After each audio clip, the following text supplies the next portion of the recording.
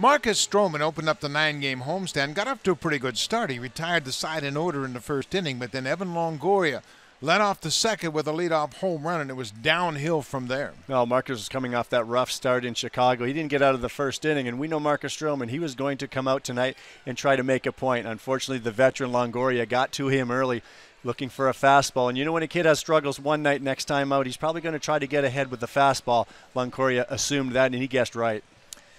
He was up against a tough opponent on the mound. Drew Smyly went to the mound his fourth start since coming over to Tampa Bay in that trade with Detroit.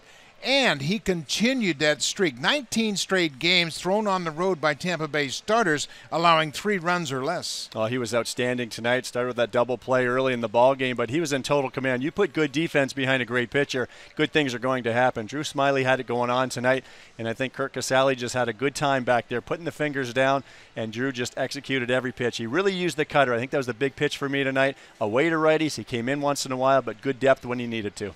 Drew Smyly threw a two hit shutout, his first career shutout in the major leagues, and he looks like a good acquisition picked up by Tampa Bay. They always do a good job in evaluating players when they acquire them in trade. Blue Jays will try to even the series at a game apiece on Saturday afternoon at Rogers Center.